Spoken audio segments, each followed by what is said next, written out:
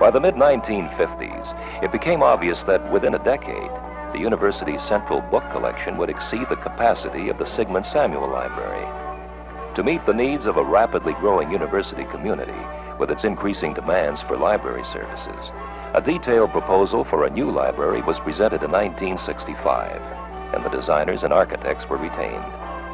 Three years were spent in planning the 14 floors, two levels of basement, and the two adjoining wings which comprise the Robarts complex. Then, it was up to the construction crews.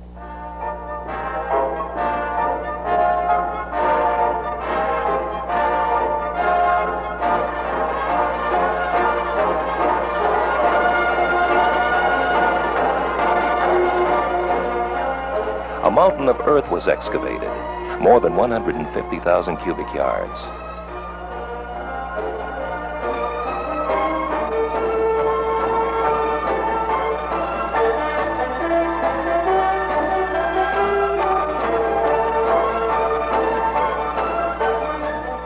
Ninety-seven thousand cubic feet of concrete was poured.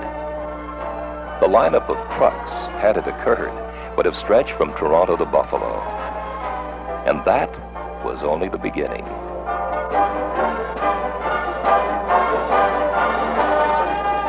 Fourteen thousand five hundred gallons of paint were used in the interior alone, not to mention 634 miles of electrical wiring and enough light bulbs and fluorescent fixtures to light either of the Toronto Dominion Center towers. Gradually, it all took shape.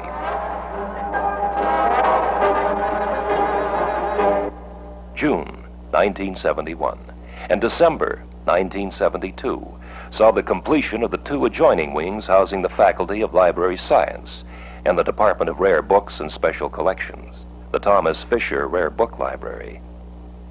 And then, after nearly five years of construction, the final part of the complex, the John P. Robarts Library, was officially handed over to the University of Toronto. The cost? Just under $42 million. Books, space for more than 4 million of them on over 100 miles of shelving, and more. 3,000 personal study places and seats in reading rooms of various kinds.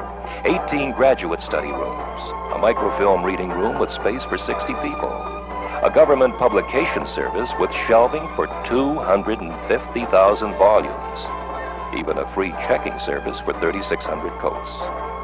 But the heart of any library is its book collection. Contained in the entire University of Toronto library system are more than 4 million items, making the collection by far the largest in Canada. The Robarts Library shares in this huge resource and contains at present about 1 million volumes, to which some 60,000 will be added every year. A magnificent building, an exceptional collection.